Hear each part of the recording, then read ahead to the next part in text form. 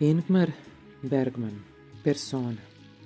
Sa švedskog prevela Spasa Ratković. Ovo nije filmski scenarij u uobičajenom smislu reči. Čini mi se da to što sam napisao najviše podsjeća na melodiju, za koju verujem da ću tokom snimanja, uz pomoć svojih saradnika, uspeti da napravim aranžman. Oko mojih pitanja nisam siguran, a bar na jednom mestu uopšte ništa ne znam. Otkrio sam da je predmet koji sam izabrao vrlo širok i da to što sam napisao ili zadržao u konačnoj verziji filma, grozna pomisao, mora da bude krajnje proizvoljno. Zato pozivam čitaočevu ili gledaočevu maštu da slobodno koristi materijal koji sam joj stavio na raspolaganje. Prvi deo. Zamišljam kako providna filmska traka juri kroz projektor. Oprana od znakova i fotografskih slika, ona splatna zrači treperavom svetlošću. Iz zvučnika se čuje samo šum pojačala i slabo pucketanje čestica prašine dok prolaze kroz tonsku glavu. Svetlo se smiruje i izgušnjava.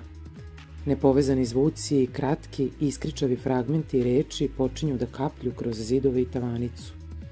Iz belo-bele pozadine pojavljuju se konture oblaka, ne, vodenog ogledala, ne. To je ipak bio oblak.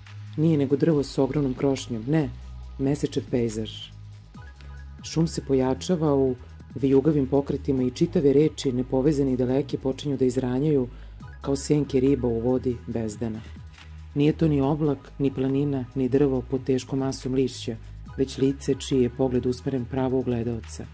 Lice sestre Alme. Da li je sestra Alma bila kod gospođe Fogler? Nije, utoliko bolje. Idemo zajedno. Tako ću moći da vas predstavim. Samo da vas na brzinu upoznam sa stanjem gospođe Fogler i sa razlozima zbog kojih ste zaposleni kao njena negovateljica. Kratko i jasno. Gospođa Fogler je glumica, kao što i sami znate, i igrala je poslednju predstavu Elektre. U drugom činu je učutala i kao u čudu počela da se obazira oko sebe. Nije obraćala pažnju na sufliranje, niti na pomoć svog partnera, nego je jednostavno ćutala, čitav jedan minut. Nakon toga je nastavila da glumi kao da se ništa nije dogodilo. Posle predstave se izvinila kolegama i obrazložila svoje ćutenje sledećim rečima. Došlo mi je da puknem od smeha. Obrisala je šminku i otišla kući. Pojela je u kuhinji laku večeru zajedno sa svojim mužem. Razgovarali su o svemu i svačemu. I gospođa Fogler je pomenula epizodu sa predstave, ali samo u prolazu i malčice posramljeno. Muž i žena poželili su jednu drugom laku noć i pošli svaku u svoju sobu. Sledećeg prepodneva telefonirali su iz pozorišta i pitali da li je gospođa Fogler zaboravila da ima probu. Kada je kućna pomoćnica ušla kod gospođe Fogler, Ona je i dalje ležala u krevetu. Bila je budna, ali nije odgovarala na pitanja kućne pomoćnice i nije se micala. To stanje traje već tri meseca. Prošla je sve moguće preglede koji se mogu zamisliti. Rezultat je nedvosmislen. Koliko mi možemo da prosudimo, gospođa Fogler je duhovno i telesno savršeno zdrava. Ne radi se čak ni o nekakvoj histeričnoj reakciji. Uopšte uzev, gospođa Fogler je tokom svog razvojnog puta umetnice i ljudskog bića pokazala vedar i realističan duh i izvanredno fizičko zdravlje. Ima li sestra Alma neko pitanje? Dobro, onda možemo da uđemo kod gospođe Fogler. Drugi deo. Dobar dan, gospođo Fogler. Zovem se sestra Alma i došla sam da se neko vreme brinem o vama. Gospođa Fogler je pažljivo posmatra. Ako želite, reći ću vam nešto o sebi. Diplomu medicinske sestre stekla sam pre dve godine. Imam 25 godina i verena sam. Moji roditelji su vlasnici imanja na selu. I moja majka je bila medicinska sestra pre nego što su udala. Gospodja Fogler sluša. Sad idem da vam donesem ručak, pržena džigerica i voćna salata. Veoma ukusno izgleda. Gospodja Fogler se osmehuje. Samo da podignem jastuke iza leđa da bi gospođi Fogler bilo udobnije. Treći deo. Pa, sestro, koji vam je prvi utisak? Ne znam, doktorka. Teško je reći. Sve vreme sam posmatrala njene oči. U početku se čini kao da je lice tako blago, tako detinje, a onda vidite njene oči i onda, ne znam kako da kažem, mislim da ima mnogo strog pogled. Na trenutak sam se zapitala da li joj smeta što, sam, što s njom zarazgovaram, ali uopšte nije delovala netrpeljivo. Ne, u stvari ne znam, možda bih... Recite šta ste hteli, sestro Alma. Na trenutak sam pomislila da bi trebalo da odustanem od svog zadatka. Da li vas je nešto uplašilo? Ne, to ne mogu da kažem, ali možda bi gospođi Fogler bila potrebna starija i iskusnija sestra, hoću reći sa više životnog iskustva. Ja možda neću izdržati. Kako to izdržati? Psihički. Psihički? Ako je nepokretnost gospođe Fogler posljedica odluke, a mora da jeste, pošto se smatra da je ona potpuno zdrava, da, onda je to odluka koja svedoči o duševnoj snazi. Mislim da osoba koja se o njoj brine mora da ima snagu duha. Ja jednostavno ne znam da li sam tome dorasla. Sestro Alma, kada sam tražila negovateljicu za gospođu Fogler, dugo sam se savjetovala sa upravnicom vaše škole i ona je odmah pomenula vaše ime – Smatrala sam da ste u svakom pogledu podobni za ovaj zadatak. Daću sve od sebe. Četvrti deo. Sestra Alma je dala injekciju gospođi Fogler i sad joj pomaže da namesti jastuke. Gasi lampu nad krevetom, ide do prozora i razmiče zavese. Sumrak je, ali nebo baca jaku svetlost na teške jesenje krošnje drveća. Iznad svakog prozora visi maleno crvenkasto parče meseca. Pomislila sam da bi gospođa Fogler želela da tu leži i posmatra sumrak, a ja posle mogu da navučem zavese, da tih uključim radio. Mislim da je na programu neka drama. Sestra Alma kreće se po sobi brzo i skoro nečujno, ali osjeća da je gospođa Fogler sve vreme posmatra. S radija se čuje interesantan, impresivan ženski glas. Oprosti mi, oprosti mi voljeni, o ti ipak moraš da mi oprostiš. Ne tražim ništa drugo, samo tvoj oproštaj, oprosti mi, pa ću opet moći da dišem, da živim. Prijatnu dikciju prekida smeh gospođe Fogler. Smeje se toplo i od srca. Smeje se toliko da joj suze polaze na oči. Zatim ućuti, da bi mogla da sluša. Ženski glas nepokolebljivo nastavlja. Šta ti znaš o milosrđu? Šta znaš o patnjama jedne majke, o krvavom bolu žene? Gospođa Fogler još jednom prasne u razdragan smeh. Podiže ruku, hvata šaku sestre Alme, povlači od ivice kreveta, Petlja sa dugmetom za ton i ženski glas se pojačava do nadprirodnih proporcija.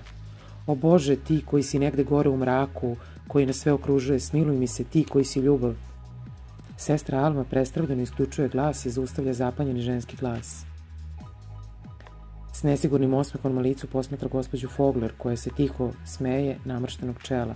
Ona zatim lagano odmahuje glavom i mirno posmatra sestru Almu. Ne, gospođo Fogler, ja se stvarno ne razumem u te stvari. Zanimaju mene pozorište i film, ali redko idem, nažalost. Najčešće sam previše umorna kad dođe veče, mada... Mada prema umetnicima osjećam posebno divljenje i mislim da je umetnost u životu od velikog značaja, naročito za ljude koji se suočavaju sa raznoraznim teškoćama. Ovo poslednje sestra Alma izgovara sa nešto snebivanja u glasu. Gospođa Fogler je posmatra pažljivo, tamnim očima. Mislim da ne treba da se o tim stvarima izjašnjavam pred gospođom Fogler. To je kao hodati po tankom ledu. A da ponovo uključim radio, aha, ne, ali možda ima razlike. Ni to. Onda lako nođu, gospođo Fogler, i lepo spavajte. Ona spušta veliku i malo vlažnu ruku, prošaranu ispupčenim venama, tešku, lepu ruku koja kao da je starija od još uvek mladog lica. Zatim napušta sobu, škljocaju jedna i druga vrata i unutrašnja i spoljašnja. Čuje se da u hodniku nešto kaže – Konačno je tiho. Elizabeth Fowler utiskuje glavu u tvrdi jastuk iza sebe. Injekcija počinje da deluje i dovodi ju u stanje prijatne tromosti. U tišini osluškuje sobstveno disanje i ono joj je tuđe, ali ipak dobrodošlo. Suze joj ispunjavaju oči i sporo teku niz lepočnice u neuredne talase kose. Usta su velika, meka, poluotvorena. Mrači se. Kako nepo postaje sve crnje, drveće se rasplinjava i nestaje, Ona čuje duboke, daleke glasove koji se pokreću u ritmu njenog laganog disanja. To su besmislene reči, fragmenti rečenica, slogovi, pomešani kao ili kao da kaplju s pauzom posle svake kapi. Oči joj se i dalje pune suzama. Peti deo. Alma se slači. Obavlja sitne poslove u svojoj sobici, pere čarape. Zaliva slabašnu, bezličnu sobnu biljku – Uključuje radio, zjeva nekoliko puta. Sjeda na ivicu kreveta u staroj pidžami. Čovek može da živi bilo kako. Može da bude šta god hoće. Ja ću se udati za Karl Hernika i imaćemo dvoje dece koje ću ja vaspitavati. Sve to već odlučeno. Nalazi se u meni samoj. Ne moram čak ni da razmišljam kako će biti. To je za mene velika sigurnost. A imam i posao koji volim i to je lepo, ali na drugi način. Pitam se samo o čemu je problem gospođe Fogler. Šesti deo. Jednog jutra, nekoliko dana kasnije, sestra Alma nalazi svoju pacijentkinju u stanju velike uznemirenosti. Na pokrivaču leži neotvoreno pismo. Da li gospođa Fogler želi da otvori pismo?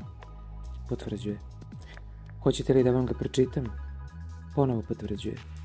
Da vam čitam naglas? Sestra Alma je već naučila da tumači razume izraze lica gospođe Fogler i redko se u tome prevari. Sad otvara pismo i počinje da čita, trudeći se da joj glas bude što bezličniji. S vremena na vreme mora da se zaustavi jer je rukopis vrlo nečitak. Neke reči ne može uopšte da raspozna. Pismo. Najdraža Elizabet, pošto ne mogu da te posećujem, pišem ti pismo. Ako ne želiš da ga čitaš, ne moraš. Ja, u svakom slučaju, ne mogu, a da ne pokušam da stupim u kontakt sa tobom, jer me neprekidno muči strepnje i pitanje da li sam ti učinio nešto nažao. Da li sam te povredio bez svog znanja? Da li između nas došlo do nekog užasnog nesporazuma? Postavljam sebi hiljadu pitanja, a nemam odgovore. Koliko mogu da razumem, mi smo baš sada bili srećni. Čini mi se da nikad ranije nismo bili toliko bliski. Sećaš li se da si rekla, tek sad počinjem da shvatam šta znači biti u braku. Ti si me naučila, sad vidim, da moramo jedno drugo da posmatramo kao dvoje uplašene dece, pune dobre volje i najboljih namera, kojom upravljaju, mora je da upravljaju sile kojima samo delimično vladamo. Sećaš li se da si mi to rekla? Šetali smo zajedno po šumi, a ti si stara i čvrsto uhvatila kajiš moka puta i sestra Alma prekida s čitanjem i prestavljeno posmatra gospođu Fogler. Ona se podigla u sedeći položaj i lice joj je izobličeno. Da ne čitam više, odmahuje glavom. E, pa onda gospođa Fogler mora ponovo da legne, da podržim nešto za smirenje. Opet odmahuje glavu. Ne. A da, u pismu je jedna fotografija, fotografija vašeg sina. Želi li gospođa Fogler da je uzme? Ne znam da li... On je veoma sladak. Gospođa Fogler uzima fotografiju i dugo je posmatra. Sestra Alma stoji kraj kreveta s rukama nasunjenim na ivicu. Pismo je spustila u džep kecelje. Tada gospođa Fogler pocepa sliku, s gađenjem posmatra obe polovine i pruža ih sestri Alma. Sedmi deo. Iste večeri sestra Alma posećuje mali, zabačeni lokalni bioskop koji prikazuje film od pre nekoliko godina s Elizabetom Fogler u glavnoj ulici. Osmi deo. Iste večeri, dok je sestra Alma u bioskopu, odigrava se jedna epizoda vredna pažnje. Gospođa Fogler, kao i mnogi drugi pacijenti te bolnice, ima u svojoj sobi televizor. Na iznenađenje mnogih, gospođa Fogler pokazuje veliko interesovanje za najrazličitije emisije, uglavnom izbegava snimke pozorišnih predstava. Te večeri ona gleda neki politički pregled. U jednom delu emisije prikazana je budistička monahinja koja se u znak protesta protiv vladine verske politike samo spaljuje i umire nasred ulice. Kad je gospođa Fogler videla tu scenu, počela je da vrišti, teško i prodorno. Deveti deo. Jednog dana lekarka ulazi u sobu gospođe Fogler i sjeda na stolicu za posetioce. Nema smisla, Elizabet, da i dalje ostaneš ovde u bolnici. Mislim da ti to samo škodi. Pošto ne želiš da se vratiš kući, predlažem da ti i sestra Alma pređete u moju vikendicu na moru. Tamo nema žive duše na polja pola milje oko kuće. Veruj mi, priroda je dobar lekar. Ona na trenutak sedi i razmišlja, noktima prelazi pod lanu. Gospođa Fogler se odmara u krevetu, u golubije plavom jutarnjem ogrtaču koji je doseže do stopala. Ljušti krušku malim, oštrim, srebrnim nožićem. Sok je curin iz prste. Pa, šta misliš o mom predlogu? Gospođa Fogler je gleda s osmehom punim izvinjenja, ali doktorka zadržava izraz naredbodavca.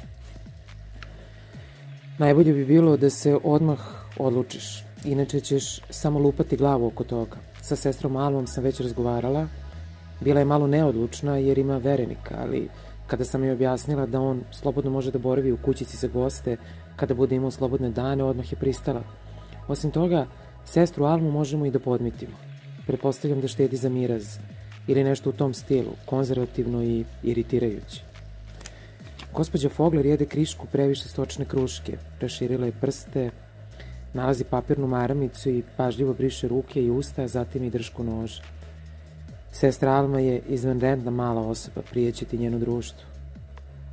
Doktorka ustaje sa stolice, prilazi krevetu, tapše gospođu Fogler po stopalu. Eto tako, odgovorit ćeš mi sutra ili preko sutra. Pa, mora nešto i da te muči. Da kad ti je sve oduzeto. Gospođa Fogler stvarno izgleda izmučena. Sad stvarno izmučeno izgledaš. Treba oprezno dodirivati bolni nerv. Gospođa Fogler odmahuje glavu. Svejedno moramo da ga dodirujemo, inače će biti još gore. Gospođa Fogler čusto zatvara oči, kao da želi da zatvori doktorku na drugoj strani, a zatim ponovo počinje da gleda oprezno. Doktorka i dalje stoji pred njom. Zar misliš da ne razumem? Beznadežni san o tome kako biti. Ne delovati, nego biti. U svakom trenutku svesna, budna, a istovremeno ponor između onoga što si pred drugima i onoga što si pred samom sobom. Osećaj vrtoglavice i neprestana glad za raskrinkavanjem, biti konačno prozrena, ograničena, možda i uništena. Svaki ton glasa, laže izdaja, svaki gest, falsifikat, svaki osmeh, grimasa, uloga supruge, uloga prijateljice, uloga majke, uloga ljubavnice. Koja je najgora? Koja te je najviše namučila? Igrati gnumicu interesantnog lica – gvozdenom rukom držati sve komadiće na okupu i to tako da se slažu. Gde je puklo? Gde nisi uspela? Je li te slomila uloga majke? Uloga elektre sigurno nije. U njoj si se odmarala.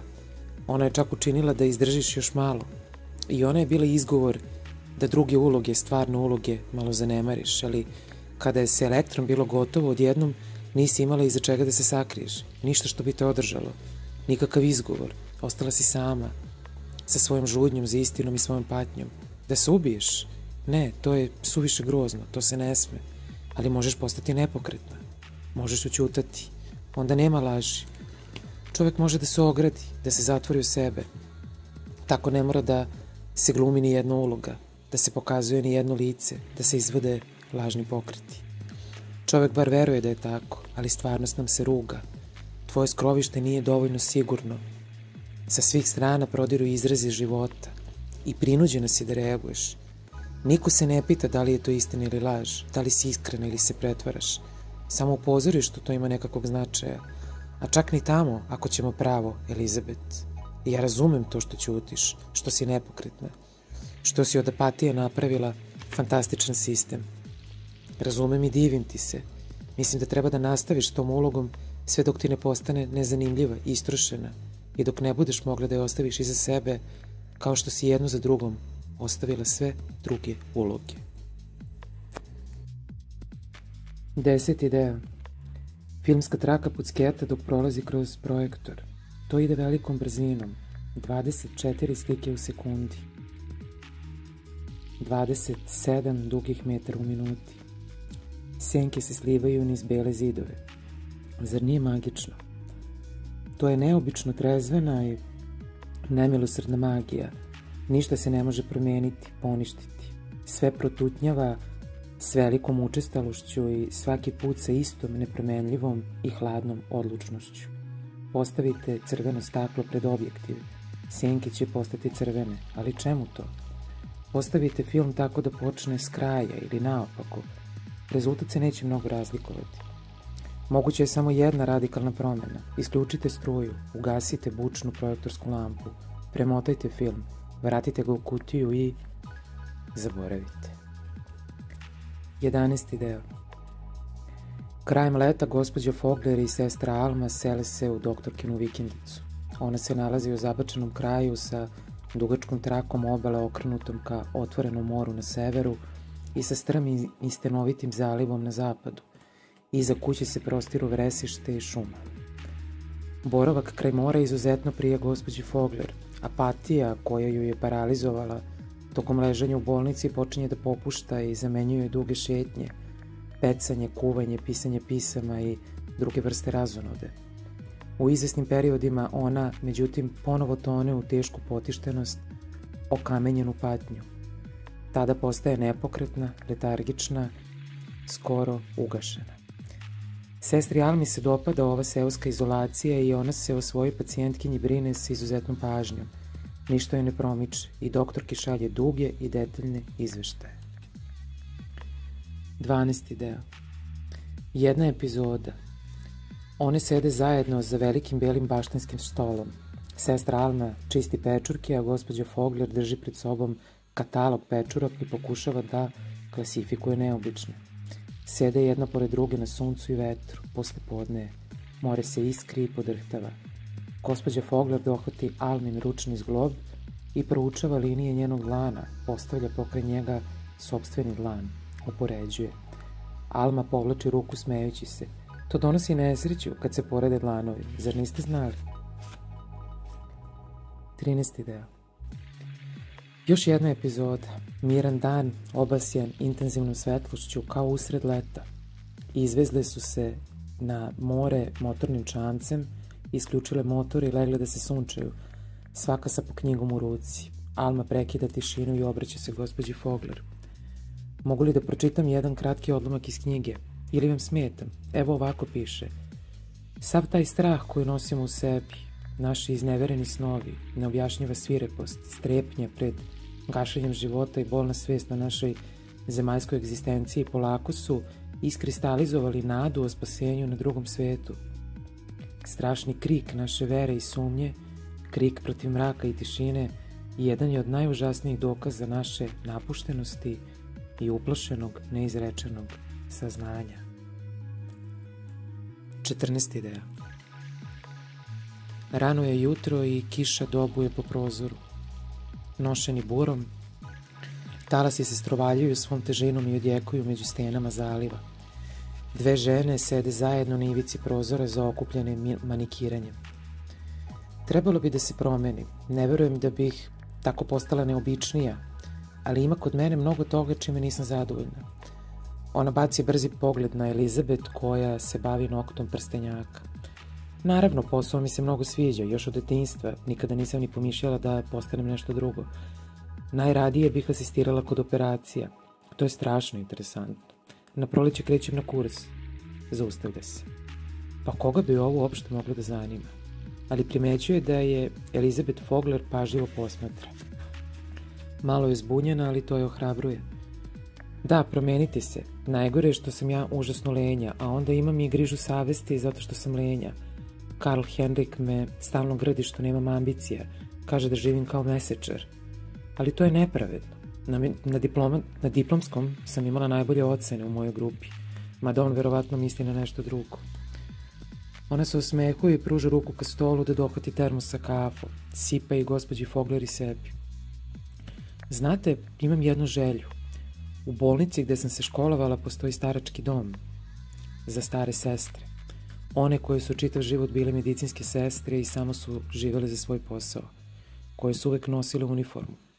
One tu borave u svojim sobicama, žive i umiru pored bolnice. Tako čvrsto u nešto verovati da tome posvetiš čitav život. Ispija gutljaj jake crne kave. Gospođa Elizabet je spustila ruke na sto i sedi malo nagnuta napred. Pogled joj ne skreće s Alminog lica. Na Almu to delo je privlačno, uznamirujuće. Verovati u nešto, izvršavati zadatak, biti ubeđen da život ima smisao, to mi se sviđa. Čvrsto se držati za nešto postojano, šta god da se desi, tako treba postupati, nešto značiti ljudima oko sebe. Zar se ne slažete? Naravno, to detinjasto zvuči, ali ja u to verujem. Ako čovek ne... Čovek mora da zna, posebno ako nismo religiozni. Ona menja ton, sklanja kosu sa čela i naslanja se nazad na stolicu – Gleda kroz prozor i otprilike ovako razmišlja. Šta me briga šta misli ova glumica? Jasno je da ne misli kao ja. Neverovatno, kakva bura! Kasnije tog dana. Kiša i oluja su se malo smirile, dve žene su ručale i sede na visokim barskim stolicama, svaka na svojoj strani šanka pričušćenog za zid. Bio je oženjen. Pet godina smo bili zajedno. Onda mu je dosadilo. Ali ja sam bila užasno zaljubljena. Da, valjda jesam. A i bio mi je prvi. Svega se sećam kao mučenja. Duga patnja, onda kratki trenuci kao... Ne znam koju reč da upotrebi, puši malo nespretno i s puno žara. To mi je palo na pamet kada ste me naučili da pušim. On je užasno mnogo pušio. Kada se toga setim, sada kada je sve gotovo, vidim da je naravno bilo banalno. Pravi roman, znate već. Ona neodlučno pogleda Elizabetu koja mirno puši iščekujući i slušajući. Na neki način to nikada nije bilo sasvim stvarno. Ne znam kako da objasnim. U svakom slučaju, ja za njega nisam bila sasvim stvarna. Moja je patnja bila stvarna, jeste. Ali ja sam nekako verovala da se to podrazumeva na neki odvratan način. Da tako treba da bude. Čak i ono što smo jedno drugom govorili. Već je posle povodne. Teški, sivi, vlažni mir. Čuje se samo tutnjava talasa koji se lome o obalu i kapi sa drveća i krova. Negde je otvoren neki prozor i kroz njega se provlači sveži miris soli i morske trave, mokrog drveća i poklisli kleke. Oni su založile vatru u kaminu spavaće sobe i sklupčale se u Elizabetinom krevetu, svaka za svojim ćebetom oko nogu. Na dohvat ruke im je po čašica šerija. Alma je dosta pila. Elizabeth Fogler je i dalje upaljivo pažljiva. Osluškuje svaki ton glasa, posmatra svaki pokret.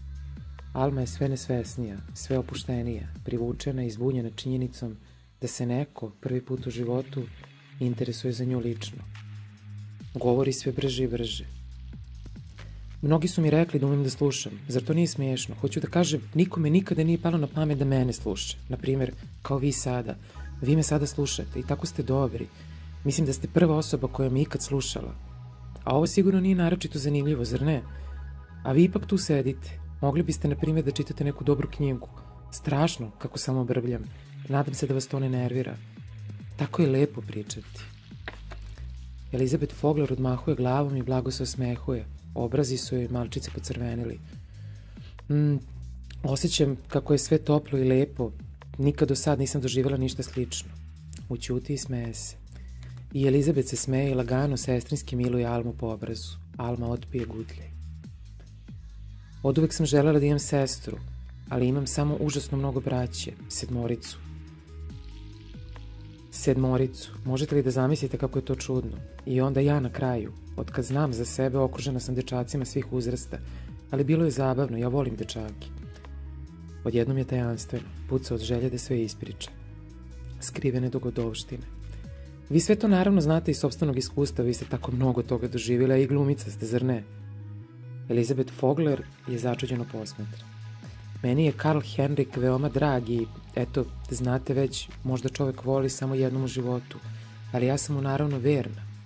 Inače vam mogu reći da u našoj profesiji postoje izvesne mogućnosti, ali nije to. Još malo razmisli. Sipa sebi i Elizabeth još šerija, utone u krevet, sve do zida i uzdiše, sklanja kosu sa čela. Bilo je to prošlog leta. Karl Henrik i ja bili smo zajedno na odmoru. Bio je jun i bili smo sasvim sami. Jednog dana je otišao u grad. Bilo je sunčano i toplo, pa sam sišla na plažu. Tamo je ležala jedna devojka i sunčala se. Boravila je na obližnjem ostrvu i kanuom je doveslala do naše plaže koja je bila južnija i skrovitija, ako razumete šta hoću da kažem. Elizabeth razume i klima glavom. Alma potvrđuje tu činjenicu brzim i skoro postravljenim osmehom. Spušta čašu na noćni stočić, ponovo sa čela sklanja nevidljivi pramen. Ležale smo i sunčale se potpuno gole, pa smo na trenutak zadremale, probudile se i namazale se kremom za sunčanje. Obe smo imale velike slamene šešire, znate već one velike i jeftine. Ja sam oko mog imala plavu traku. S vremena na vreme sam kroz šešir posmatrala pejzaž, more i sunce. Bilo je baš zabavno – a onda sam ugledala dve prilike kako skaču po stenama visoko iznad nas. Povremeno su se sakrivali i virili iza stena. Tamo su dva dečaka, gledaju nas, rekla sam devojci, zvala se Katarina. Neka gledaju, rekla i okrenula se na leđe. Kakav čudan osjećaj. Sve vreme sam htela da odjurim i obučem bade mantil, ali sam i dalje ležala na stomaku gole zadnjice, bez imalo srama, tako nekako spokojno. I sve to vreme sam pored sebe imala Katarinu, one njene male grudi i debele butine i veliki špund dlaka. Ležala je sasvim nepomično i tiho se rekala. Videla sam da su se dečaci približili. Videla sam da su sad već potpuno bezobzirni. Stajali su i gledali nas, a da se nisu ni trudili da se sakriju. Obojice su bili veoma mladi, rekla bih negde oko 16 godina. Alma pali cigaretu, ruka je podrhtava i ona žudno povlači dim. Elizabeta Fogler se drži savršeno nepomično, skoro kao da je nema, samo odmahuje glavom kad je Alma ponudi cigaretama. Jedan od dečaka koji je bio hrabriji prišao nam je čučno pokraj Katarine.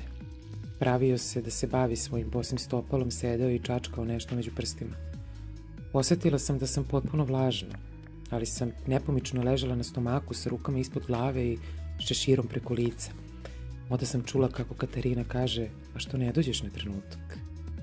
Pa je dohvatila dečakovu ruku, dovukla ga do sebe i pomogla mu da skine farmerke i košulju. Odjednom je bio na njoj i ona mu je pomogla da se namesti i rukama je držala njegovu mršavu čvrstu zadnjicu. Drugi dečak je sedeo na brdu i buljio. Katarina se smela i mrmljala u dečakovu uvo. Videla sam pored sebe njegovo crveno, onako podnadulo lice. Onda sam se okrenula iznena da rekla što ne dođeš i do mene. A Katarina se nasmijela i rekla idi sad kod nje. I on se izvukao iz nje i pao na mene. Sasvim krut i dohvatio me za jednu dojku, tako da sam jauknula jer me zabolelo i već sam nekako bila svršila skoro istog trenutka, možete li to da zamislite? Baš sam htjela da mu kažem budi pažljiv, da ne ostanem u drugom stanju, ali je i on svršio i osetila sam kao nikad u životu ni pre ni posle kako je u mene ubrizgao svoju spermu. Čvrsto je držao moje ramena, nagnao se unazad i činilo mi se da se to nikada neće završiti, a bilo je tako vrelo i došlo je postepeno. Katarina je ležala na strani, gledala nas i držala mu mošnicu od pozadi i kad je bio gotov, uzela ga je u naručje i svršila koristići njegovu ruku. A dok je svršavala, vrištala je prodornim glasom. Onda smo sve troje počeli da se smejemo i pozvali smo drugog dečaka koji se zvao Peter. Polako se spustio nizbrdo, delovo je sasvim zbunjeno i mrštio se na suncu. Kada je prišao, videli smo da je verovatno imao tek 13-14 godina. Katarina mu je otkupčala pantalone i igrala se s njima, on je sedeo ozbiljno i nepokretno dok ga je mazila, pa je onda progutala njegovu spermu. Onda je on počeo da je ljubi leđa, a ona se okrenula ka njemu, uhvatila mu glavu rukama i dala mu svoje grudi. Drugi dečak se toliko uzbudio da smo on i ja počeli iz početka. Išlo je užasno brzo i meni je bilo isto onako lepo kao i prvi put. Onda smo se kupali i rastali. Kad sam stigla kući, Karl Henrik se već vratio iz grada. Večerali smo i pili vino koje je kupio. Onda smo vodili ljubav. Nikad nam nije bilo tako dobro, ni pre ni kasnije. Palo je veče. Kiša i bura su prestale. More se talasa dole na stanovitoj obali, inače prilično tiho. Svetionik je upaljen i sad po vresištu šeta svoju svetlosnu ruku. Onda sam naravno ostala u drugom stanju. Karl Henry koji studira medicinu odveo me svom dobrom prijatelju i tako sam abortirala. Oboje smo bili zadovoljni što je sve prošlo tako lako. Nismo hteli decu, u svakom slučaju ne tada. Alma odjednom počinje da plače, jeca zbunjeno i s uživanjem. Elizabeth Fogler spušta svoju široku ruku na Alminu. Alma uzdiše, pokušava nešto da izgovori, a onda napušta svaku nadu da će uspeti da se izrazi. Nešto nije u redu, nešto se ne slaže kada čovek samo razmisli. Pa onda griže savesti za svaku sitnicu. Razumete li šta hoću da kažem? Mogu li dvoje da budu potpuno različiti i da istovremeno žive jedno pored drugog? I šta će onda biti sa svim odlukama koje smo doneli? Zar one nemaju nikakvog značaja? O, kako je to smiješno. U svakom slučaju, nema razloga za gorko jecanje. Sačekajte, moram da se useknem. Usekne se, obriše oči, gleda oko sebe, smeje se jadno izveštačeno. Već je noć, neverovatno, meljen kao vodenica. Ceo dan sam pričala o sebi, a vi ste slušali. Kako sam vas samo ugnjavila. Šta vas zanima moj život? Trebalo bi da sam kao vi. Elize, Elizabet se začuđeno osmehuje. Alma se iskašljava. Teško je da se sabere, a osim toga je užasno umorna i uzbuđena. Ono veče kada sam bila u bioskopu i gledala vaš film, stajala sam pred ogledalom i mislila, pa mi ličimo jedna na drugu. Smeh. O, nemojte me pogrešno shvatiti, vi ste mnogo lepši, ali na neki način smo slične. I ja bih verovatno mogla da se pretvorim u vas. Kad bih se potrudila, hoću reći iznutra. Zar se ne slažete? Zbunjuno još malo razmisli. Zatim joj se lice smrkne i glas joj utuče. A vama ne bi trebalo veliko umeće da se pretvorite u mene. Mogli biste tek tako. Vaš bi duh naravno izbijao na sve strane, jer je prevelik da stane u mene. Kako bi čudno izgledalo. Alma spušta na sto svoju otežalu glavu i ispruži ruke preko stola. Zatvori oči i zeva. Sada moraš na spavanje, inače ćeš zaspati ovde za stolom, kaže gospođa Fogler mirnim, jasnim glasom. Alma ne reaguje odmah, ali onda polako shvata da joj Elizabet nešto govori. Seda i bulji u more, a da ni reč ne može da izusti. Da, idem odmah na spavanje, inače ću sigurno zaspati ovde za stolom, a tu će mi biti malo neudobno. 15. deo Te noći Alma doživljava nešto neobično. Prvih sati spava veoma mirno, ali je onda probudi jaka potreba za mokrenjem. Dan već počinje da sviće i sve odjekuje od krika morskih ptica dole u zalivu. Ona se penje stepenicama, skreće kod ugla i odlazi iza nekog žbunja. Tamo čučne i dugo i zadovoljno piški i dalje više uspavana nego budna. Kada ponovo uđe u kuću, na trenutak joj je hladno i osjeća malu mučninu, ali je ubrzo obuzima novi talas pospanosti. Probudi se jer je u sobi neko pokreće. To je bela prilika koja kao da leluja napred-nazad na vratima sobe. Alma se prvo uploši, ali brzo primeti da je to Elizabet. Iz nekog razloga Alma se uzdržava da bilo šta kaže. Leži polu zatvorenih očiju, nepokretna. Nakon nekog vremena Elizabet u dugoj beloj spavačici i heklanom džemperiću prilazi njenom krevetu. Saginje se skroz do Alme. Usnama miluje njen obraz. Duga kosa pada je preko čela i obuhvata oba lica. 16. deo Sledećeg jutra zajedno povlače ribarsku mrežu, što im obema pričinjava zadovoljstvo. Mmm, Elizabet. Elizabet se pita. Htela sam nešto da te pitam, da li si mi sinoć nešto rekla? Elizabet se osmehuje i odmahuje glavom. Da li si sinoć bila u mojoj sobi? Ona se i dalje osmehuje i još jednom odmahuje glavom. Alma se naginje nad mrežu. 17. deo Sestra Alma pažljivo vozi stari auto po krivudovom i džombastom šumskom putu. Ide do pošte u selu da pošalje nekoliko pisama. Jedno od njih gospođa Fogler šalje doktorki. Ono leži na prednjem sedištu, na vrhu hrpe pisama, okrenuto na opačke. Alma primećuje da koverat nije zalepljen. Skreće na sporedni putić, zaustavlja kola, traži potašni naočare i otvara pismo. Pismo. Draga moja, Ovako bih uvek voljela da živim, da ćutim, da budem odvojena od sveta, da redukujem svoje potrebe, da osjećam kako izmrcvarena duša konačno kreće da se ispravlja. Ponovo počinjem da upoznajem elementarne, ali zaboravljene osjećaje, kao što je halapljivost pred ručak, detinja večernja, sanjivost, radoznalost pred debelim paukom, uživanje u hodanju bosih nogu. Prazna sam i otupela kao da plutam u blagom polusnu, Osećam novo zdravlje, varvarsku odvažnost. Okružuje me more i ja se ljuljuškam kao beba u majčnoj utrobi. Ne, ne čeznem čak ni za mojim sinčićem, ali naravno znam da mu je dobro i to me umiruje. Naša dobra Alma mi pruža pravu razonodu. Brine se o meni, ugađa mi na najdireljivije načine. Ona posjeduje robusnu, zemaljsku senzualnost i ja u tome uživam. Pokreće se s prirodnom opuštenošću koja i stimuliše i smiruje. Njeno jako fizičko prisustvo doprinosi naravno mom spokoju.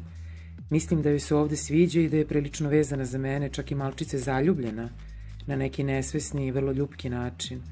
I inače je jako zabavno proučavati je. Često se pravi pametna, o svemu ima svoje mišljenje kad se radi o moralu i životnim stavovima, čak i malčice praznoverna. Ja je podstičem da priča, to je vrlo poučno ponekad plače nad počinjenim gresima. Radi se o nekoj vrsti epizodne orgije sa potpuno nepoznatim pubertetlijom koja je za posljedicu imala abortus. Žali se kako se njene predstave života ne slažu sa njenim postupcima. U svakom slučaju imam njeno poverenje i ona mi nadugačko i naširoko priča o sebi. Ja, kao što vidiš, gutam sve što mi se nudi i to mi stvarno ne smeta dokle god ona ništa ne primećuje. Alma je čitala sporo, isprekidano, uz mnogo pauza. Izašla iz kola, napravila nekoliko koraka, sela na jedan kamen, ponovo počela da hoda. Ta izdaja. Kasno se vraća kući uz izgovor da su se kola na putu pokvarila i da je morala da traži radionicu. 18. deo. Jesenje jutro, vedro i vruće, kao usred leta. Jarka svetlost nad kamenim pločama terase i grugim šljunkom staze. Sestra Alma se budi rano, kao i obično, njena soba je na istoku.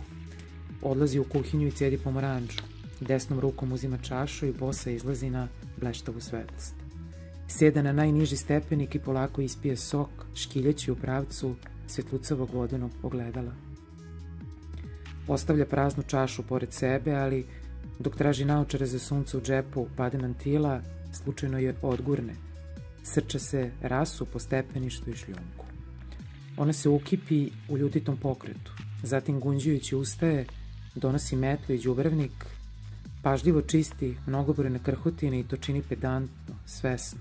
Čučne, prstima skuplja stakliće, brižno se okreće oko sebe, izgleda da ništa nije ostalo, prazni đubravnik u kantu. Vraća se na stepenište, pali cigaretu i kroz naočare za sunce posmatra insekte na pošljučanoj stazi. Tada spazi prilično veliku krhotinu nepravilnog oblika koja svet, svetluca među kamenčićima. To je delić dna čaše sa vrhom upravljenim nagore, kao koplje. Ona pruža ruku ka njemu, ali se zaustavlja u pokretu.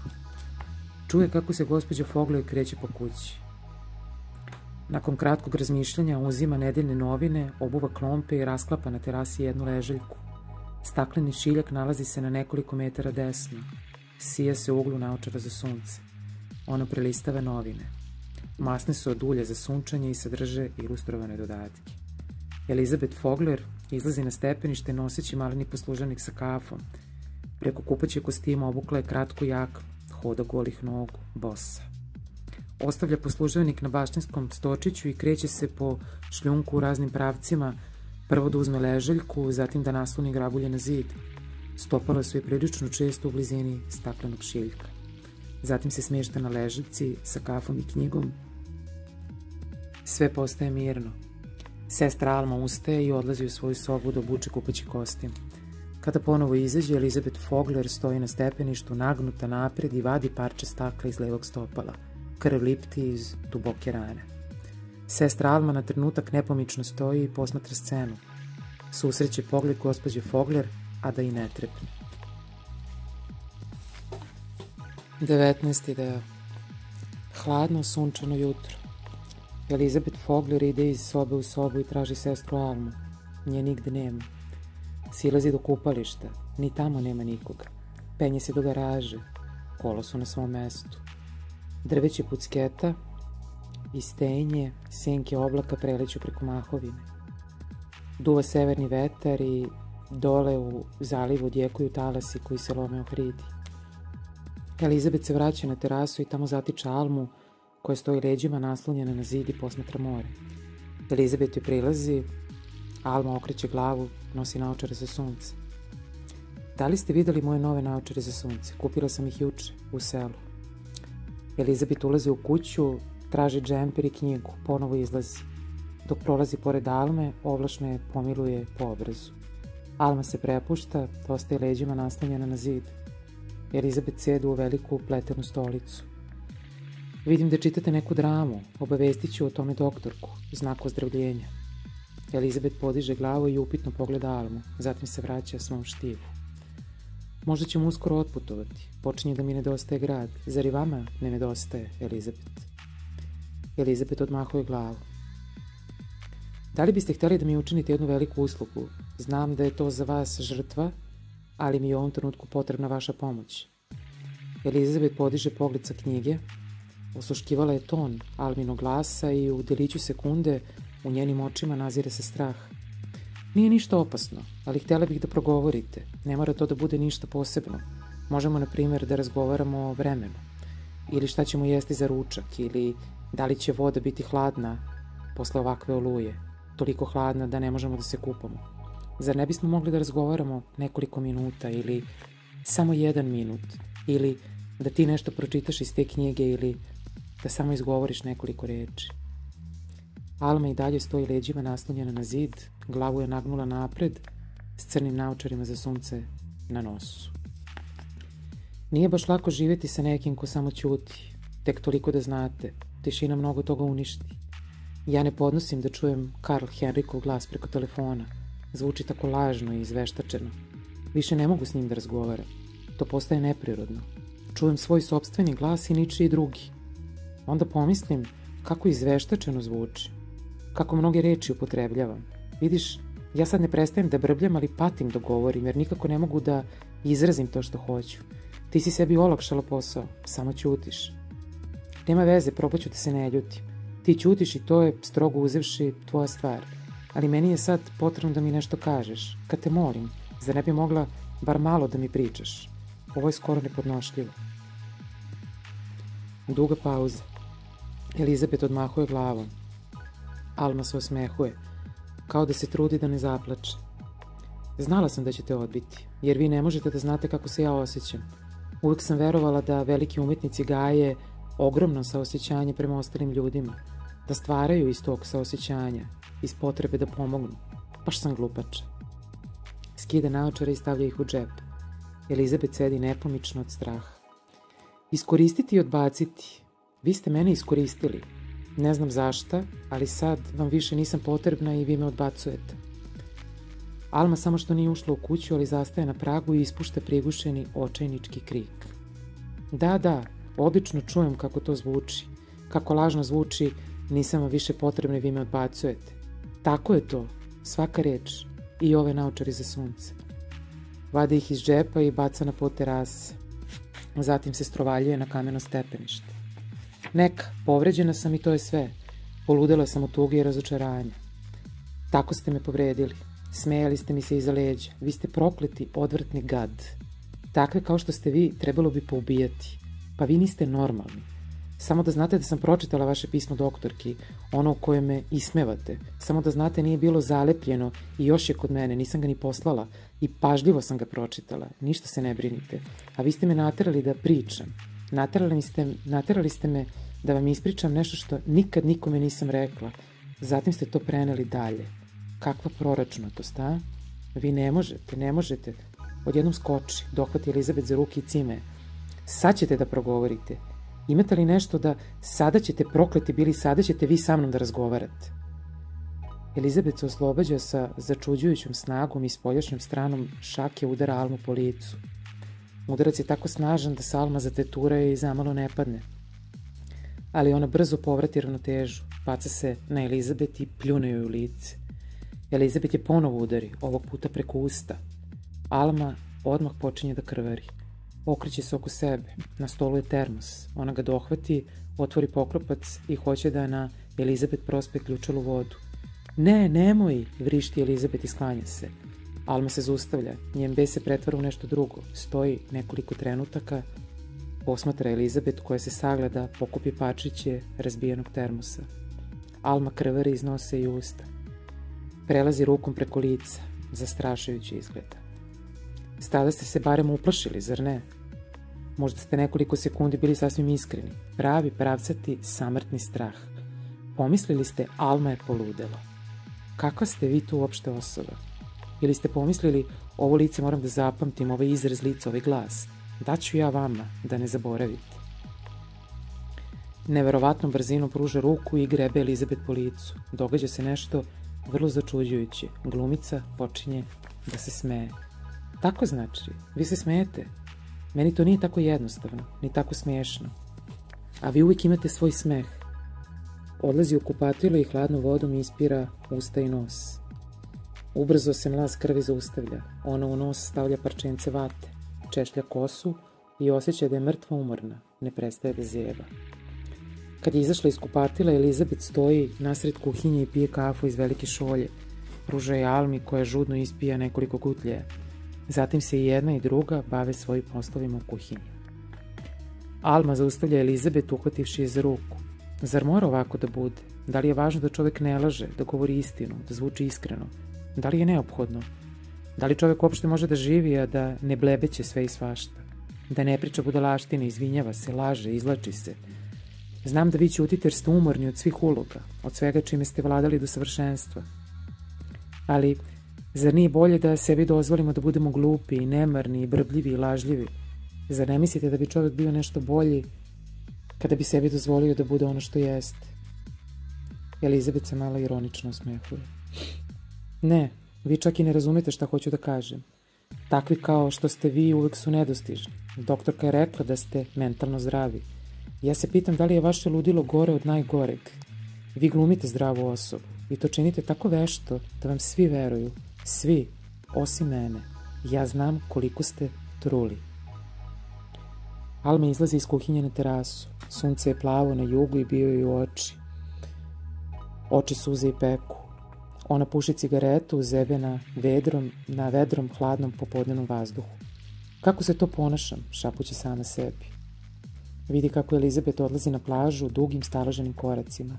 Ona baca cigaretu i gazi je, viče, Elizabet, čekajte i trči za njom, stiže i korača pokraj nje.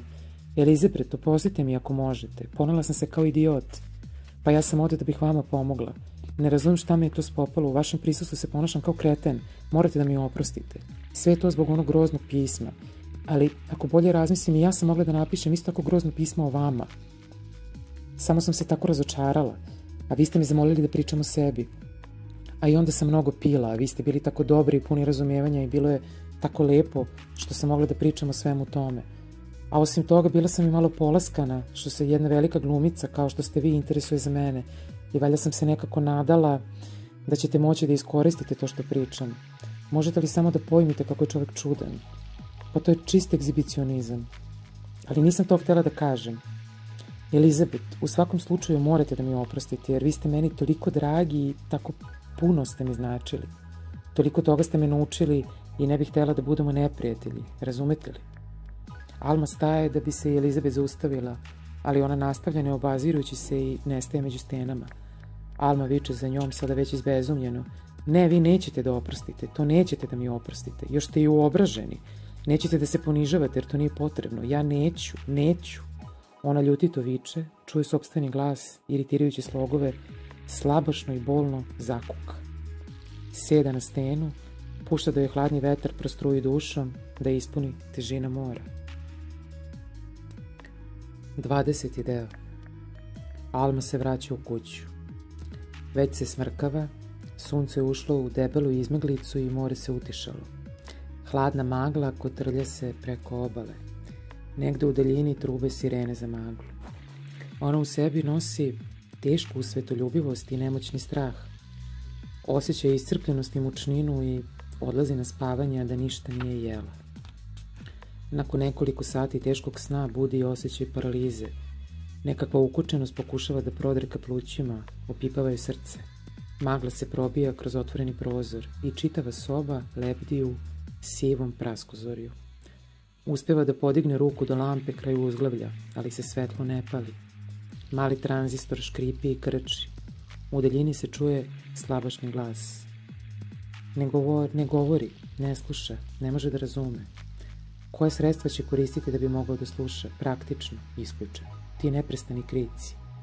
Glas nestaje zbog velike smetnje, zatim se sve utiša i samo se negde, beskreno daleko, čuje sirena za maglu. Odjednom neko viče, to je muški glas. On doziva, Elizabet. Alma uspeva da ustane, zatvara prozor i ide hodnikom do Elizabetine sobe. Tu zatiče isto sivo, nejasno praskozorje. Elizabet leži u krevetu na leđima, lice joj je bledo, ima tamne podočnjake, a disanje je skoro neprimetno. Usta su poluotvorena, kao kod mrtvaca. Alma se naginje nad njom, opipava je vrat i čelo i meri puls, slab je, ali pravilan. Usta su joj tako blizu Elizabetinog lica da na usnama osjeća dah zaspale žene. Pažljivo dodiruje njenu bradu i zatvara joj usta. Kada spavate, lice vam je opušteno, a usna otekla i ružna, a na čelu imate zlobnu, vertikalnu boru, Uskoro ništa više neće biti tajna. Oči vam se više ne sijaju. Sad ste nemoćno, napušteno meso. Mirišete na san i suze i ja vidim žilu kucavicu na vašem vratu, a tu imate i mali ožiljak kod operacije koji obično kamuflirate šminkom. Eno, on ponovo viče. Idem da vidim šta hoće od nas, ovde daleko, u našoj samoći. Alma ostavlja zaspalu ženu i kao u potrazi ide iz jedne u drugu sobu. Odlazi do zadnjeg dela kuće, do bašte. Čuje kako neko govori iza njenih leđa i okreće se sa osjećanjem griže savesti. Ugleda visokog muškarca 50. godina. On se zbunjeno osmehuje. Izvini ako sam te uplašio.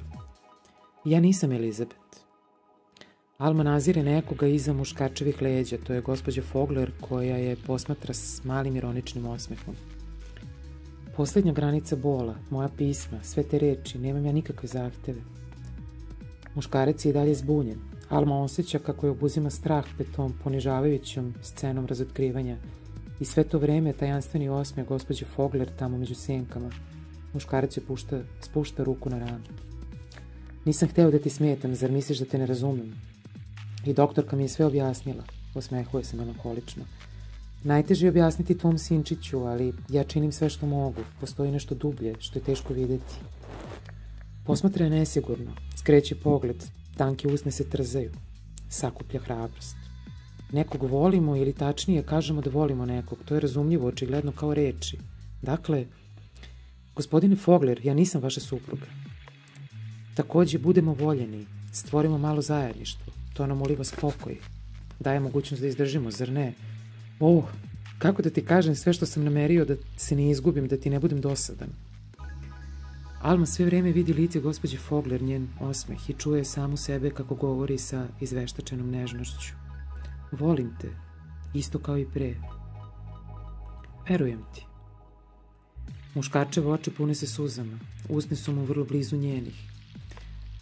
Toliko sam verovao svaki put od sveg srca, svaki put kao dete. Pružamo ruke jedno ka drugom, pokušavamo da shvatimo, pokušavamo da se predamo. Ali Alma se brani izveštačenim glasom. Nemoj tako da se plašiš, ljubavi moja, pa mi imamo jedno drugo. Jedno drugom verujemo, znamo jedno drugome misli, volimo se. Tako je, zar ne? Lice gospođe Fogler postalo je ozbiljno, skoro nema od prigušenog bola, ali gospodin Fogler nastavi. Da jedno drugo doživimo kao dva deteta, dva izmučena, bespomoćno usamljena deteta, a najvažnije je trud koji ulažemo, zar ne? Trud, a ne rezultat. On učuti i briše oči bojažljivim pokretom ruke. Alma se napreže do krajnosti. Glasio je stešnjen, neprirodan. Poruči našem dečačiću da će se mama uskoro vratiti, da je mama bila bolesna i da joj nedostaje njen sinčić. Ne zaboravi da mu kupiš neku igračku, da mu to bude poklon od mame. Nemoj da zaboraviš.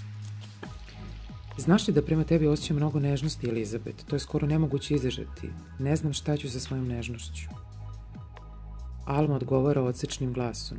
Ja živim od tvoje nežnosti. Iza muškarčevih leđa Elizabeth Fogler pravi zgroženu grimasu. On se sad saginje nad Almom i ljubi joj usta, pomiluje joj grudi i mrmlja nežne, molećive reči. Alma sve dopušta i sve vreme gleda pravo u velike oči gospođe Fogler. Još se nije stiglo do krajnje granice patnje. Da li ti je dobro sa mnom? Je li ti lepo? A ti si divan ljubavnik, to i sam znaš najdraži. Moja voljena, voljena Elizabet.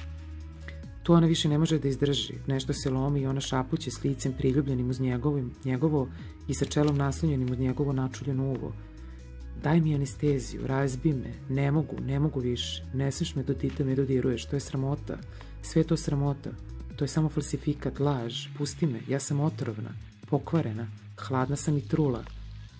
Zašto se ne ugasim? Nemam hrabrosti. Sve to relativno pribranim glasom kaže, gospođa Fogler se iza muškarčevih leđa okreće sa izrazom gađenja. Gospodin Fogler uzima Almu u naručje i utečno je pritiska na svoje grudi. Rukom dodiruje njeno čelo, rame, pritiska njenu stisnutu pesnicu. Hrapavim, očajničkim glasom neprestano mrvnja besmislene reči, reči koje su izgubile svu verodostojnost, bez suza i očima koje peku buljuju njemu tuđe usta. Gospođa Fogler okreće lice prema posmatračima tamo negde u mraku i govori grubim, skoro hrapavim glasom. Došlo je do inflacije reči, kao što su praznina, usamljenost, otuđenost, bol, bespomoćnost.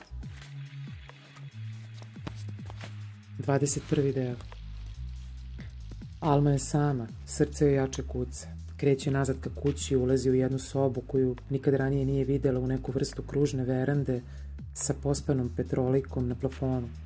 Usred sobe nalazi se veliki sto, za stolom sedi Elizabeth Fogler u Alminoj uniformi. Alma prilazi stolu i sjede naspram nje. Nakon duge tišine počinje da govori. Sada sam mnogo toga saznala. Mnogo toga saznala, kaže gospođa Fogler. Alma položi levu ruku na sto i okreće dlan. Elizabeth pažljivo posmatra njene pokrete, podiže svoju levu ruku, položi je na sto i zatim okrene dlan. To se ponavlja nekoliko put, napetost sve više raste. Almine oči su pune, se pune suzama, ali ona se savladava. Da vidimo koliko ću izdržati, kaže glasno. Ću izdržati, odgovara gospođa Fogler. Alma noktima grebe svoju golu ruku. Pojavljuje se maleni trag krvi. Elizabeth se naginje i dočekuje krv svojim usnama. Alma povlači ruku kroz njenu gustu kosu i drži joj lice čvrsto pritisnuto u svoju ruku. Mora da se nagne duboko nad sto. Nikad neću biti kao vi, šapuće brzo. Ja se sve vreme menjam, ništa nije odlučeno, sve se kreće, učinite šta god hoćete. Do mene i onako ne dopirete. A kada se Elizabet otrgne i zabaci glavu unazad, Alma napinje obraze kao dete koje naduva balon, a zatim pušta da vazduh lagano prostruji kroz usta, ispuštajući pucketavi zvuk. Elizabet prestravljeno odmahuje glavom, a zatim isplazi jezik s izrazom prezrive zlobe. Onda više ništa ne mogu da smisle, nego sede i posmatraju jedno drugo s izrazom dosade na licu i obešenih usta. Tada Alma primeti da Elizabet pokušava da se pribere, teško se naprežući. Pokreće usta kao da govori i reči se polako probijaju kroz grlo. Ali to još uvijek nije njen glas, ni njeni Almin, nego nekakav slabašni, bojažljiv ton, bez snage i jasnoće. Možda krivično delo protiv lične imovine, očajna boja kože ili ono drugo vladajuće pa se još skuplja. Ne, ne unutra. Trebalo bi, ali tu ja stojim. Da, onda mogu da plačem ili da sebi razderem nogu. Glas postaje sve slabiji. Elizabeth Fogler se zanosi, kao da će da padne preko stola na pod, ali joj Alma dohvata ruke i čvrsto ih drži. Boje, brzi potez, neshvatljiva odvratnost bola i tako mnogo reči. Ja, mene, mi, nas, ne, kako se kaže, šta je najbliže, gde da nađem oslonac? Alma je čvrsto drži za ruke i gleda u oči. Sve vreme zebe i osjeća se kao da je siva i smežurana. Starački, žalopojni glas se nastavlja. Penje se naviše, postaje piskav i neprijatan. Neuspeh koji nije došao kada je trebalo, koji je došao u drugim trenucima, neplanirani, bez upozorenja. Ne, ne, sad je svetlost drugačija, ona neprestano seče, niko ne može da se odbrani. Alma pritiska grudi na sto. Gospodja Fogler prekida svoj crkutovi monolog i podiže pogled. Ugleda Almino iznureno, uništeno lice i ozebla, upala ramena, napravi nagli pokret da bi se oslobodila kao da je lancima vezana za leš, ali Alma čvrsto drži.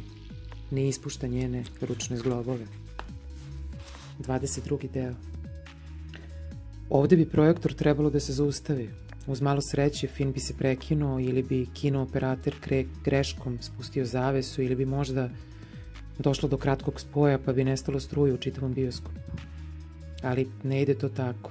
Mislim da bi senke nastavili svoju igru čak i ako bi neki prigodni prekid skratio naše muke. Njima možda više nije potrebna naša pomoć, ni mašina, ni projektora, ni filmske, ni tonske trake. One sad posežu za našim čulima, duboko do mrežnjača ili do najtananijih dubina uha. Jesam li u pravu? Ili ja to samo zamišljam da su senke moćne, da njihov bes može da preživi bez pomoći filma, tog žalostno savesnog marša, 24 slike u sekundi, tih 27 metara u minuti. 23. deo. Alma tada vidi sledeće. Pod desnim dlanom gospođe Fogler leži jedna fotografija. Alma je sklanja ruku. Stika je pocepana na dva dela i prikazuje Elizabetinog četvorogodišnjeg sina. Blago, sramežljivo, dečije lice i maleno, džigljasto telo na dugim mršavim nogama. Dve žene prilično dugo posmatraju fotografiju, zatim Alma počinje da govori sporo birajući reči. Ništa nije teže od ovoga, zar ne? Elizabet odmahuje glavom ali mi ćemo ipak o tome da razgovaramo, Elizabet potvrđuje. Jedno veče na nekoj zabavi, kasno je, gosti su prilično bučni. Pred jutro je neko iz društva rekao, Elizabeth Fogler posjeduje skoro sve što se može kao žena i kao umetnica. A šta mi to nedostaje, pitala sam. Nedostaje materinstvo. Nasmejala sam se, jer mi je to budalasto zvučalo, ali sam nešto kasnije primetila da s vremena na vreme razmišljam o tome. Moja uznemirenost je rasla i tako sam dozvolila da ostanem u drugom stanju. Htela sam da postanem majka. Duga pauza. Iscepana fotografija leži na stolu. Petrolika treperi i senke u sobi počinju da se kreću. Alma nastavlja. Glumica Elizabeth Fogler je dakle zatrudnila. Kada sam shvatila da je to neopozivo, uplašila sam se. Zar ne? Elizabeth spušta glavu. Uplašila sam se odgovornosti, vezanosti, da se ne odvojim od pozorišta. Uplašila sam se bola, smrti, tela koje postaje sve veće. Ali sve vreme sam igrala ulogu. Elizabeth skreće pogled. Sve vreme sam igrala ulogu mlade, srećne buduće majke i svi su govorili kako je lepa trudnica, lepša je nego ikada. Elizabeth se trudi da nešto kaže, ali ne može. Umeđu vremenu si više puta pokušala da sama izvršiš abortus, ali nisi uspela. Na kraju si potražila lekarsku pomoć. Lekar je utvrdio da je suviše kasno. Kada sam videla da nema izlaza, razbolela sam se. Počela sam da mrzim dete i poželela sam da se rodi mrtvo. Porođaj je bio dug i težak. Mučila sam se nekoliko dana. Na kraju su bebu izvukli kleštima. Elizabeth Fogler je prestravljeno izgađanjem posmatrala svoje deformisano cmizdravo dete. Kada bi ostavili nasamo sa svojim prvencem, priželjkivala bi i mrmljala. Zašto sad ne umreš? Zašto ne umreš? Razmišljala sam i kako bi bilo ubiti dete, ugušiti ga jastukom kao u rastrojstvu ili mu smrskati glavu u radijator. Ali on je preživeo. Elizabeth Fogler naslanja glavu na ruke, potrese je nemi jece. Alma sedi isto kao i ona i priča sama sa sobom. Fotografija blagog, sramežljivog dečijeg lica i dalje nepomično leži na stolu. Dete je kao za inat preživelo i bila sam prinuđena da taj gadni, drhtavi život prenes, prinesem grudima koje su bolele i pekle od mleka koje nije dolazilo. Dobila sam čireve, bradavici su ispucale i krvarile, kao u nekom dugom, ponižavajućem grozničevom snu. Dete je bilo bolesno. Neprestano je plakalo i danju i noću, mrzela sam ga, plašila sam se, imala sam grižu savesti. Na kraju su negovateljice i rođaci preuzeli brigu o detetu, a Elizabeth Fogler je mogla da napusti svoj bolesnički krevet i da se vrati pozorištu. Fotografija. Poluzatvorene, sumnjičave oči, ukrućeni, nežni vrat, jedno rame malo podignuto, kao da se pita, kao da okleva. Alma nastavlja. Ali tu nije bio kraj patnji. Dečaka je obuzela neshvatljiva žestoka ljubav prema majici. Ja se branim, branim se očajnički jer vidim da ne mogu da mu uzvratim. Osjećam to svakog dana. To tako boli, to tako nepodnošljivo boli. Griža savesti me ni za trenutak ne napušta. I ja se trudim, iz dana u dan. Rezultat su nespritni i okrutni susreti između mene i dečaka. Ne mogu, ne mogu, hladna sam i ravnodušna, a on me gleda i voli i tako je nežan, a ja želim da ga udarim, jer me ne ostavlja na miru. Odvratan mi je, sa svojim debelim usnama, ružnim tijelom i vlažnim molećivim očima. Odvratan mi je i plašim se. Alma čak čuje glas, koji ne prestaje da govori kroz njena usta. Uzdrhtava se i uzdržava i pokušava da izbjegne Elizabetin pogled. Govori vrlo brzo. Ja ne osjećam kao ti, ja ne razmišljam kao ti, ja nisam ti, ja sam samo tu da ti pomognem. Ja sam sestra Alma. Ja nisam Elizabeth Fogler. Ti si Elizabeth Fogler. Ja bih rado imala, ja volim, ja nisam. Alma se zaustavlja. U deliću sekunde vidi samu sebe. To je ona, to je Elizabeth i to je ona. Više ne može da pravi razliku, a i sve jedno joj je. Elizabeth se nasmeje, kratko i grubo. Probaj da slušaš, šapuće Alma. Molim te, zar ne čuješ šta ti govorim? Probaj sada da mi odgovoriš. Elizabeth podiže lice iz ruku, ogoljeno i iznojavo. Ona polako klima glavom. Ništa, ništa, ne, ništa, ništa. Tako će biti dobro, tako mora da bude. Elizabeth Fogler Elizabeth Fogler opet saginje glavu. Alma ispušta njene ruke. Ona nastavlja da tone. Alma prinosi ruku svojim osušenim usnama. Zatim se sve smrači. 24. deo Doktorka sede za pisaćim stolom, sa izrazom blagog triumfa na licu. Okreće se pravo ka gledalicu. Početkom decembra Elizabeth Fogler se vratila kući i pozorištu. Na oba mesta toplo je dočekana. Sve vreme sam bila ubeđena da će se vratiti, tišina je bila samo jedna od uloga. Nakon nekog vremena nije je više bila potrebna, pa je prekinula, ostavila je. Naravno, teško je analizirati najdublje razloge. Naročito u slučaju tako komplikovanog duševnog života kao što je život gospođe Fogler. Ali ja bih se kladila da se radi o veoma razvijenoj infantilnosti, a onda naravno i sve ostalo, mašta, senzibilitet, možda čak i stvarna inteligencija, smeje se. Ja mislim da čovek mora da bude izuzetno detinjast da bi u ovo naše doba imao snage da bude umetnik.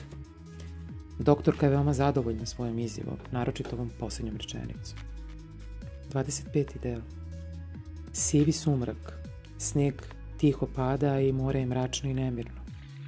Alma se kreće u velikoj tišini. Jednog dana dolazi neki čovek sa motornom testerom i sekirom. Tišinu razbija ludačko zavijenje koje prati seču stabala. Alma ga poziva na ručak i kafu. Razmenjuju samo nekoliko ravnodušnih reči.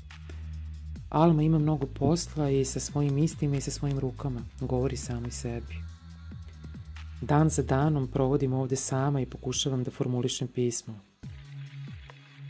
Znam da ono nikada neće biti napisano. Juče sam pospremala svoj pisaći sto. Tu sam pronašla jednu fotografiju. Na njoj je mali sedmogodišnji dečak. Na glavi mu je kačket, nosi kratke pantalone, do kolenice i malini strogi kapudić. Lice mu je pribledelo od straha, oči crne, razrogačene. Drži ruke visoko iznad glave. Iza njega naziru se na jednoj strani muškarci i žene sa velikim zavežljajima. Oni nema bulju aparat. Na drugoj strani je nekoliko vojnika sa šlemovima i teškim čizmama. Najbliži vojnik drži napunjenu pušku uperenu u dečakova leđa. U slivniku se nakupilo jesenje lišće. Alma se kreće po mračnim sobama, među prikrivenim nameštajem, umotanim tepisima. Zastaje kraj jednoj od velikih, jednog od velikih prozora i posmatra čoveka i njegovog konja tamo dole na terasi.